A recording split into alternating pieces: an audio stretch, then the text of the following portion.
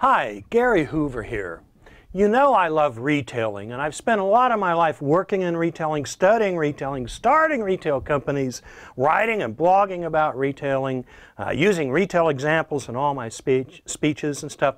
And so um, recently I was being interviewed for an online interview, and they're talking about big retail trends and changes and what's going to be different about retailing of the future. And I'm like, well, you know, retailing isn't rocket science. And and the, the interview got picked up, it got broadcast around, and the line "retailing is not rocket science" got some people read it, and I just got a uh, contacted from one of the uh, speakers bureaus I work with, saying uh, one of their clients wanted to know about my speech about um, retailing not being rocket science, and what was that speech like, and did I have any videos of it? And well, it ain't a speech yet, but I got plenty of content and plenty of ideas.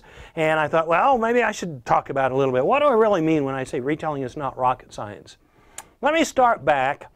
When I look at what I call wisdom, which is what we're always trying to achieve here at uh, Hoover's World and all the stuff I write and the classes I teach and everything, my first rule of, of, of wisdom is that you're trying to figure out what matters and what doesn't matter. So let's start with that. In retailing, what matters are people and products. People and products. Everything else is secondary. So that's kind of the core wisdom. I define a merchant, someone who's a great retailer, as someone who both loves merchandise or products and who loves people. And I'll also say that when I talk about this, I'm talking about merchandise, stuff you sell. You know, I'm talking about Walmart and Sears and Container Store and, and 7-Eleven and Whole Foods Market and all that. But all these basic ideas, I think, apply to service businesses as well. If you're delivering educational services, financial services, airline services, those aren't products, they're services, but the parallels are all the same. So the real keys are thinking about products or services and about people. So thinking about products, the only reason the retail industry even exists, the only reason the good Lord created us retailers was to get the right products into the right people's hands. There are old sayings about the right item at the right price, at the right place, at the right time, in the right quantity. I mean, when a, a, a, truckload full of Hershey bars rolls out of the big plant in Hershey, Pennsylvania, it's of no use to anybody only when those Hershey bars are in little boxes in groups of six or eight or 12 or whatever, I guess the more the better for the Hershey company, only then do they become useful to society. So it's got to be the right quantity. It's got to be in the right place. You don't need um, umbrellas in the Sahara Desert or bikinis in Alaska in uh, February. Um, and, and it's got to be the right customer, the right time, the right place, right item and the right price because that changes over time and varies a lot. So it is so critical, and that's the only reason retailing exists. And so when I look at the product side of it or the service side, I got to ask what's different about your store? What's new? What's interesting? What's intriguing to the customer? And that's true at every level. It's every bit as important at Family Dollar Store or at Target as it is at Neiman Marcus or at Nordstrom's. How do you engage people? I think about it when I walk through Macy's, and it's a fine company. I used to work for two of their predecessor organizations. But when I walk through, how often do I see something that really strikes me as new or different? Oh, yeah, I know, the new colors for the season. Maybe the new uh, uh, sleeve lengths or the new style. That in itself isn't new. That's like the same old story. Every year we do this change in the fall and in the spring and in the fall and in the spring and in the fall and in the spring. No, when I go to Target, I'm much more likely to see things that engage and interest me. When I go to a container store, I'm going to see stuff all over that store that I've never seen before. That means that great merchants go dig up new suppliers. They work with suppliers to be creative and think about cool stuff. They don't just stock the same old stuff all the time. And, and then, of course, how they show it in the store, how they merchandise it, and all that, that plays a role. But man, it's so important to just engage the customer with cool merchandise. with new arrivals. That's the reason great bookstores have got a section saying, you know, just arrived, new arrivals, new hardcovers, new paperbacks, you know, and, and seasonality, you know. They have um, African American History Month in the bookstores and all these other different things that try to engage you. And of course, uh, that, well, they had the 40th anniversary of Woodstock, and Barnes & Noble had a whole table of Woodstock books. So how do you keep it interesting? And I think that a problem with a lot of big retailers is that they've abdicated their, abdicated their responsibility as merchants. They have turned over decisions about what they carry to their suppliers or to some other third party or to computers, you know, and that human passion for merchandise isn't there and the customers see it. So that's products and services. The other side is people. The only reason any enterprise exists is to serve people, to somehow make their lives better or at least more interesting. And we have such a tendency in our society to take a superficial view of all that. To, oh, I don't know, have a, a, a, a, survey done that's an online survey and ask all these people that we've never seen. We don't even know what they look like, whether they're short or tall or black or brown, or we know nothing about them, but we get all the answers back. And we don't even contact them again. We just add them up and say 48.1% of our customers hate our store or whatever, you know, or love it or whatever. It ain't telling us anything. You gotta genuinely care about the customer. You have to talk to them face to face, even if you're an internet business, especially if you're only an online business.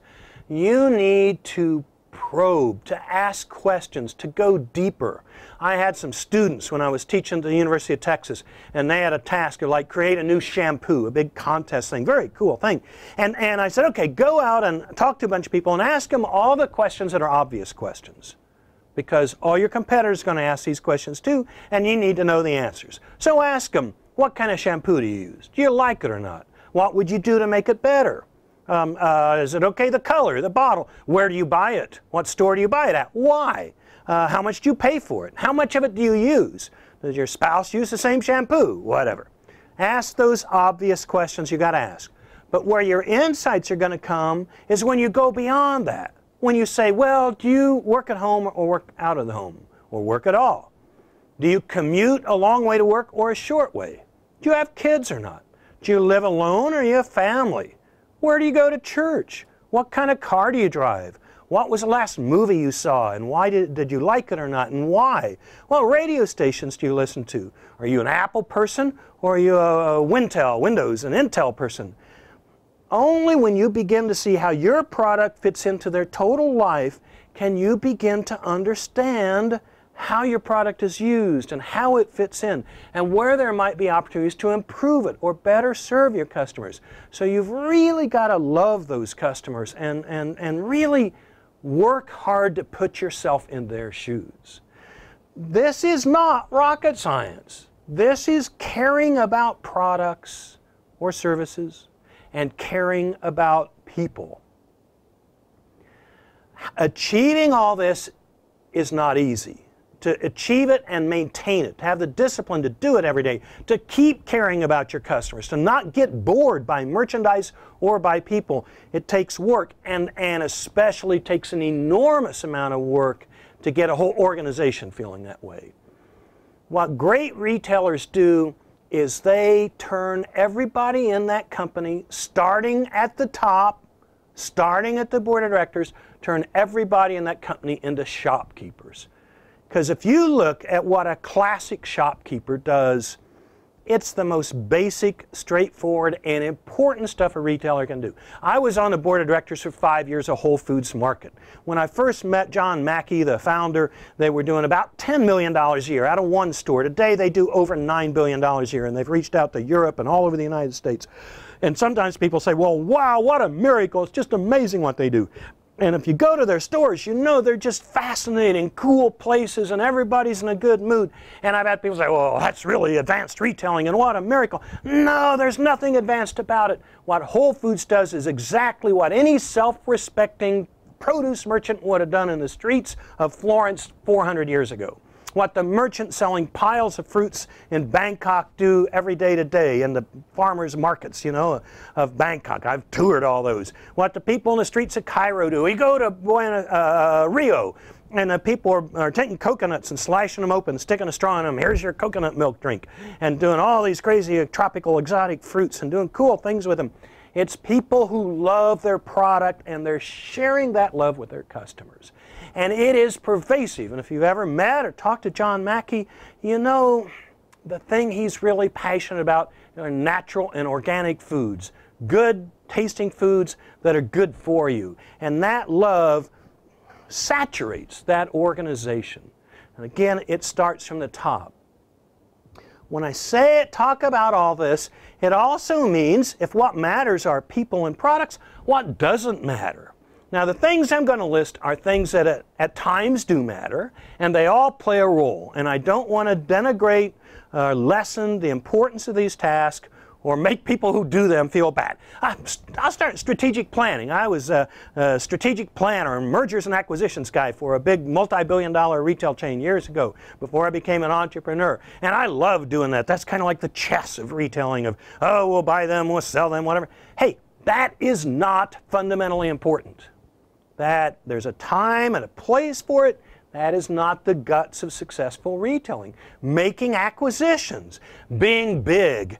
You know, everybody says, oh, Walmart's big, they're the biggest company in the world, and that's why they're so great. No, they are so big because they're great. They are not great because they're big. Big is irrelevant. Apple is not the biggest computer maker on earth, especially if you break it into hardware and software and everything. Uh, BMW is not the biggest car maker on earth, you know?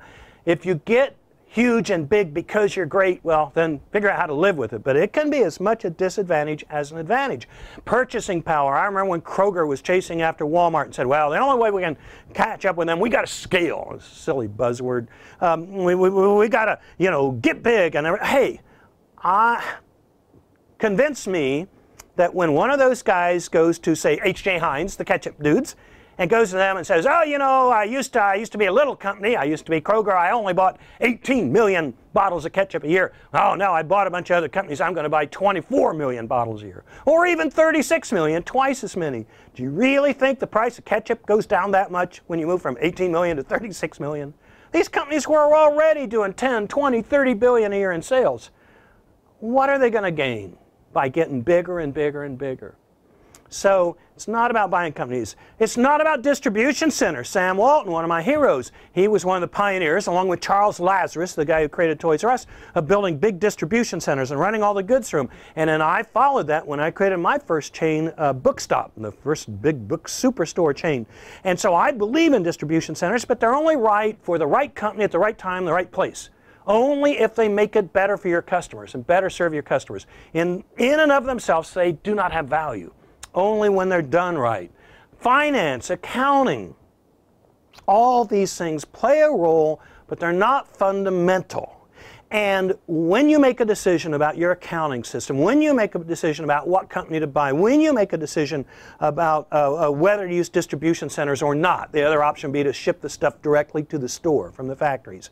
All these HR, human resources, HR, personnel decisions, um, They've all got to be made in the context of how are they going to affect my customers and their experience. Everything you do, everything you do with store design. And another thing I'd say, we talk about a customer experience and what a great thing it is to go to a Nordstrom's or the great service and all that, or Neiman's and all that. And then people in general a lot of times don't talk about a Target or something. Well, it's self-service. That's, hey, running a great self-service store is every bit as hard as running a great full-service store. It's harder because since you don't have all that staff there in the store, because you save money and it makes the products less expensive, which is a great gift to your customers, because of that, you have to communicate everything through other means, through signs, through little signals and pathways in the store. So running a, a, the service aspects of a Target are every bit as difficult to pull off as the service aspects of a Nordstrom's. They're just a different kind of ball game.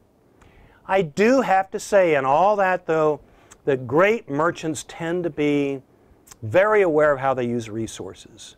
My own, and I think it's true of entrepreneurs in general, but my own approach is I design my ideal. I design in my head, this is the way I really want this store to look. This is the way, and whether it's a fancy all marble and mahogany, like uh, Neiman's or whatever, or whether it's a Family Dollar store or a 7-Eleven or a convenience store, once I got that design in my head, then my main goal is how can I achieve that with the least use of resources? How can I achieve that and be a conservationist? How can I conserve resources, especially capital, especially money? How can I achieve the same effect for 50 grand instead of 100 grand, for $500 instead of $1,000?